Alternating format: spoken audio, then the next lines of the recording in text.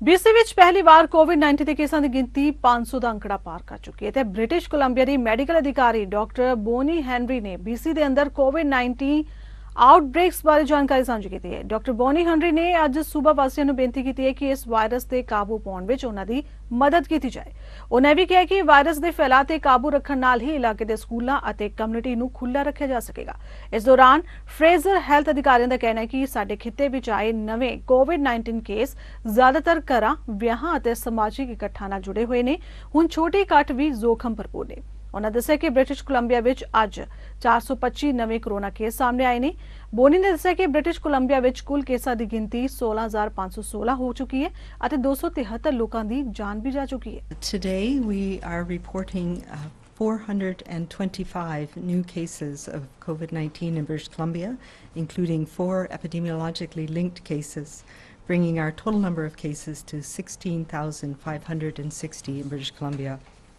And for today, I'll report, uh, starting today, I'll report on the new cases by Health Authority. 126 are in the Vancouver Coastal Health Authority, 268 people are in the Fraser Health Authority, 7 people are on Vancouver Island Health Authority, 8 people in Interior Health, and 6 in the Northern Health Authority. We have no new cases in people who normally reside outside of Canada. We now have 3,389 active cases in all health authorities in British Columbia, of whom 97 people are in hospital, 24 of whom are in critical care or ICU.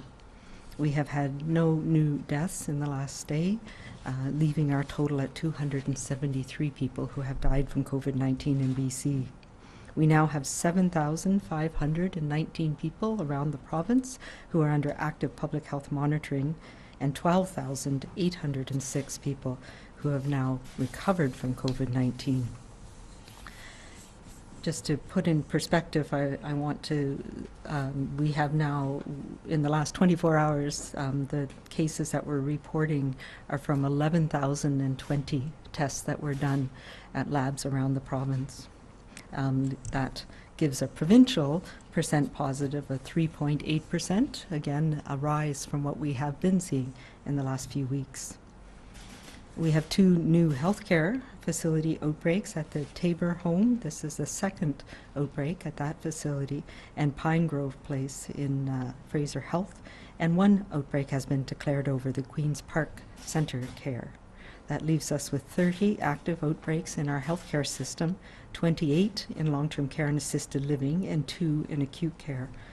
We now have uh, 1,118 people in long term care have been affected, including 648 residents and 482 staff members.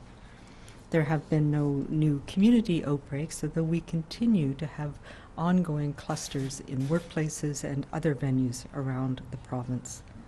On the positive note, the outbreak at L'École de l'Ensable in, in Kelowna has now been declared over, and students and staff will be back in class tomorrow.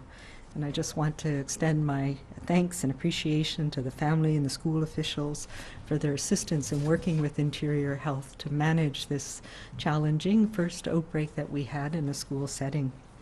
And I'd like to take as well this opportunity to remind parents about the importance of, of keeping our schools open and making sure we keep our social